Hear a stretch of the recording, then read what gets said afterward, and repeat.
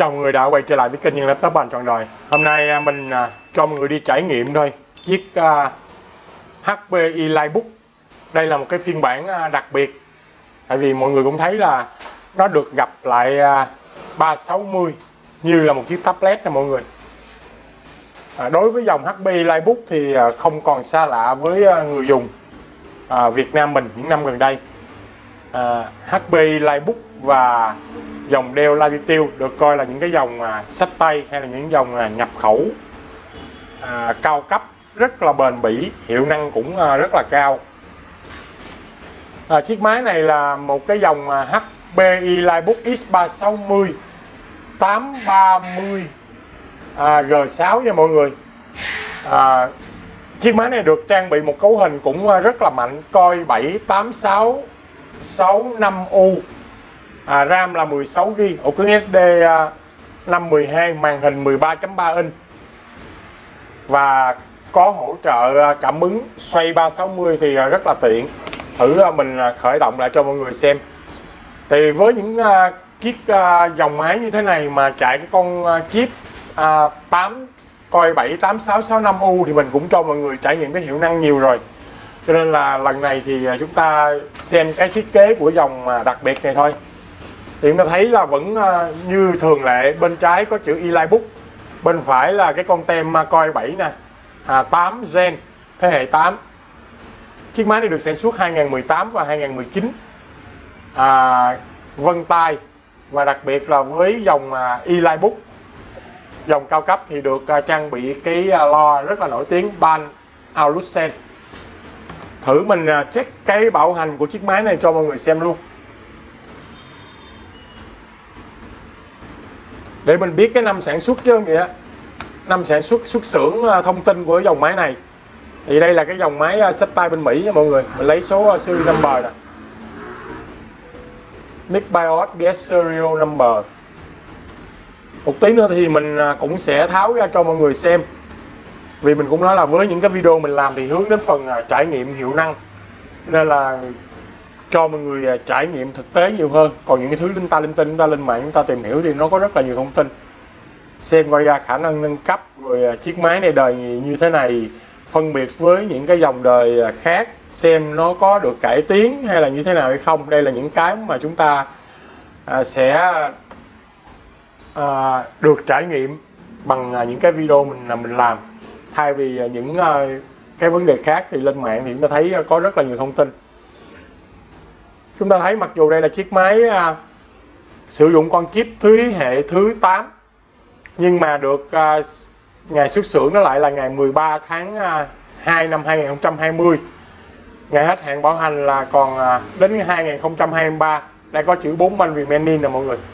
Đây là thông tin của chiếc máy này. Màn hình cảm ứng này thì à, gặp xoay thì màn hình nó màn hình tráng gương tráng thêm một cái lớp bên ngoài nữa. Cảm ứng thì à, rất là tiện lợi đối với dòng HP Lightbook thì à, thiết kế à, có phần à, giống nhau hoàn toàn. Với phiên bản G7 và G8 trở về sau thì cũng được thay đổi rất là nhiều. Cái màn hình đây nó sẽ hẹp hơn. Đây là cái phiên bản G6 trên cái phiên bản này thì nó có cái dòng HP Lightbook 1030 mình đang nói cái, cái kích thước màn hình 13.3 inch nha mọi người. Chiếc máy này là 13.3 inch. Tuy nhiên là à, thấy nhỏ nhưng mà không có nhỏ à, kích thước cũng à, khá là vừa vặn. Ai mà xài văn phòng thì rất là tiện. Máy bàn phím à, có đèn hỗ trợ ban đêm làm mà rất là tốt. Màn hình cũng à, khá là tràn viền. Vân tay nè lo hồi nãy mình cũng có cho mọi người xem rồi. Touchpad thì được thiết kế theo kiểu dòng ultra book thì với những dòng ultra book chúng ta thấy là à, chuột không có cái phím không còn giữ phím trái phím phải nữa cho nên là làm đi cái máy nó gọn đi rất là nhiều. Ok mình à, tắt chiếc máy này và mình à, tháo ra cho mọi người xem. Với chiếc máy này được trang bị một cái cấu hình Core i7 8665U à, RAM 16GB ổ cứng SSD 512 mặc dù là được trang bị cấu hình này thì khá là mạnh rồi. À, tuy nhiên là mình cũng à, tháo ra cho mọi người để mọi người thấy là cái khả năng nâng cấp. À, bên dưới mà thấy là có cái tem bản quyền nè và chân ốc nó làm cũng rất là sắc sảo logo của dòng HP Lightbook thì được cải tiến. Nếu mà ai mà xài dòng HP ProBook chúng thấy là cái logo nó vẫn còn cái logo cũ. Với dòng HP ProBook là những dòng mà văn phòng giá rẻ. Cho nên là phục vụ đối tượng khách hàng cũng à, ở tầm à, trung và tầm thấp trở xuống. Cho nên là à, đối với những dòng e-LightBook này thì rất là cao cấp. Nên là thường là những dòng mà sách tay ở nước ngoài về hoặc là những doanh nghiệp được đặt hàng thì họ mới lấy về. Tại vì cái ngân sách nó cao à, cũng được coi là à, dòng sản phẩm bán à, không có chạy hơn so với những phân khúc khác. Bởi vì chúng ta sẽ để ý là với những dòng máy à, cao cấp thì à, giá nó tầm 3 40 triệu.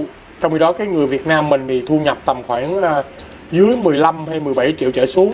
Thì à, vẫn có thể à, mua được tuy nhiên cao hơn nữa thì chúng ta cần phải à, cân đo đong đếm cái nguồn tài chính của mình là thấy thiết kế cái chân ốc à, lục giác rất là cao cấp. Mình tháo ra cho mọi người xem để mọi người có một cái nhìn cho nó à, thiết thực thực tế nhất để à, mình có nhu cầu mình mua cho nó phù hợp. Mình thấy những dòng máy này tháo rất là đơn giản. Đây mình tháo ra cho mọi người xem. Thì chúng ta thấy à, với chiếc máy này mặc dù là 13.3 inch nhưng mà cái quạt tản nhiệt cũng khá là to cục pin thì chúng ta thấy là với cái cục pin này chúng ta xài à, 4 5 giờ hơn. Có dung lượng pin nó là 53.2 Wh đây là hai cái slot RAM nè mọi người. À, đối với phiên bản mà 1030 hoặc 1040 thì à, RAM nó sẽ là RAM on board. Tuy nhiên đây là cái phiên bản à, cao cấp nhưng mà chưa phải là dòng cao nhất. Tại vì trên đây sẽ có phiên bản à, 1030 hoặc là 1040 à, trên nữa thì chúng ta có HP Spectre đó là những cái dòng ờ, rất là cao cấp. Các mọi người cũng ờ, đã thấy mình ờ, review và mình xem trên mạng rất là nhiều rồi. Đây là ổ cứng SSD MVMe MVMe nè mọi người đang có cái dung lượng nó là 512 à, đây là cái chỗ cắm cái cạc WAN để chúng ta gắn sim 4G cạc WiFi AC đó đây là cái cục pin CMOS nè. Nên là mình lưu ý là đây nó làm cái khe để nó che cái hai cái slot RAM lại nè mọi người. Quay một vòng cho mọi người xem ở bên trước lúc nào cũng có chữ Elitebook nè. Chiếc máy này nó cân nặng đâu tầm khoảng một ký hai mấy ký ba. Mình à, mở lên mình khởi động thử cho mọi người xem này. Tại vì à, chiếc máy này à, kỹ thuật cũng vừa cài. À, cho nên là nó đang à, cập nhật. À, với cái chiếc máy này thì chúng ta có thể à, nâng cấp RAM tối đa lên là 32 GB nha mọi người. Chúng ta có thể à, nâng cấp RAM lên.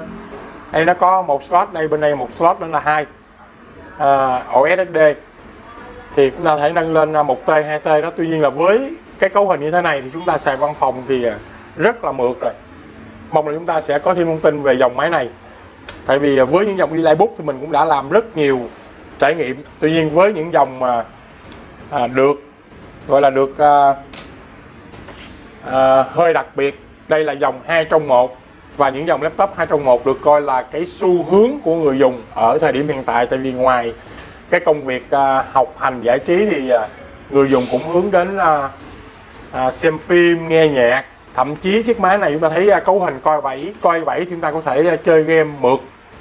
À, những cái game thông dụng thị trường như là liên minh liên quân võ lâm truyền kỳ đột kích hay là những cái game à, à, giả lập android á.